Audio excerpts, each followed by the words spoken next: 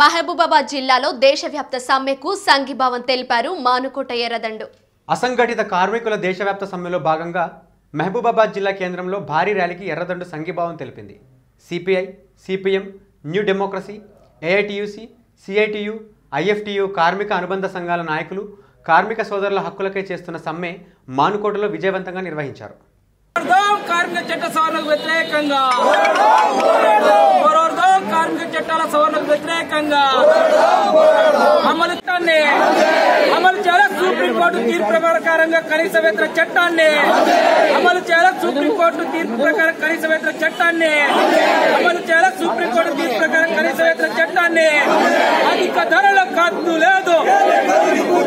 అధిక ధరల కద్దు లేదు. పోరాడదాం. కార్మిక చట్ట సవరణకు వ్యతిరేకంగా పోరాడదాం మోడీ ప్రభుత్వం కార్మిక చట్ట సవరణకు వ్యతిరేకంగా